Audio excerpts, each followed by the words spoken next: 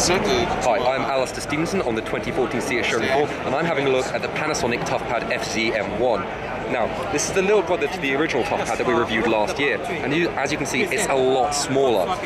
However, that said, it has the same certification being MIL STD 810G and IP65 certified. This means it is pretty much the toughest tablet out there, and you really would struggle to break it, even if you drop it in water or you are using it in a really adverse conditions. You also see the dock removed, and it works as a standalone tablet. Now the version we have has Windows 8.1 Pro, though it is also available in Windows 7, though given its touch interface, we wouldn't really can't really see why anybody would want Windows 7. Another that he upgrade is actually has a Haswell chipset, coming with an Intel Core i5 processor with vPro. Now vPro is another thing to make it good for businesses because it helps them secure the, uh, the product at the hardware level, make it difficult, more difficult to hack or compromise. You can also see here, this one has a barcode reader, which is again another business perk.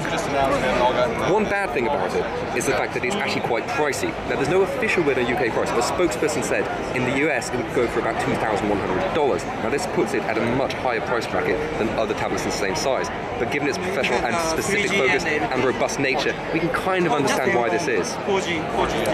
Overall, we're pretty impressed, and, and we heard it should be in the UK around March, though there's no firm release date yet. Check back then for a full review of the new Panasonic ToughPad.